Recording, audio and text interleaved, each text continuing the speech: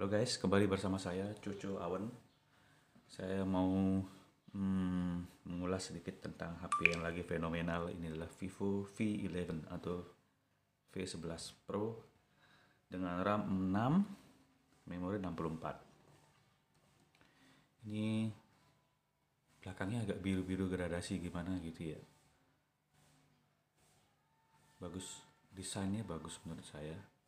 Kameranya double ini dia yang paling hebat. Fingerprint sudah ada di layar. Jadi tinggal kita sentuh, terbuka. Tada. Baterai 3400 mAh. Layar sudah menggunakan um, Super AMOLED 6,41 inci dengan resolusi 1080 x 2340 ya menurut saya saya sudah pakai beberapa hari. Ini kameranya sangat bagus banget ini. Kameranya bagus banget. Kamera depan ataupun belakang itu sangat bagus. Ya halo. Menurut saya ini HP yang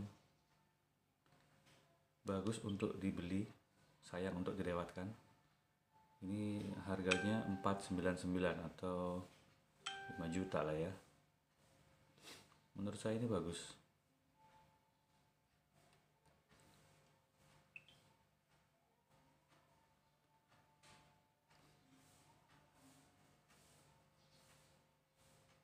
Chargernya masih menggunakan